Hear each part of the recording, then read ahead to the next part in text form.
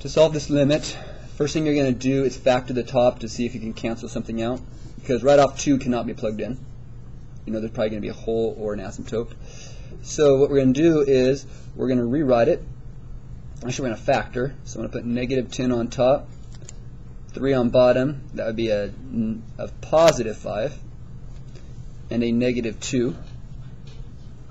Okay, which would be the limit as x approaches 2 of x plus 5 times x minus 2. And on the bottom, I'm actually going to pull a negative 1 out, leaving you with negative 2 plus x. Hopefully, you can see that this is x minus 2, and those cancel. So we now have the limit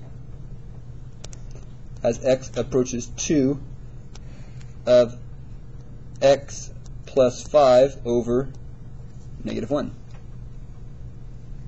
And that you can now plug in 2. So the answer is simply going to be 2 plus 5 divided by negative 1, which is negative 7. Make sure you watch out for the negative.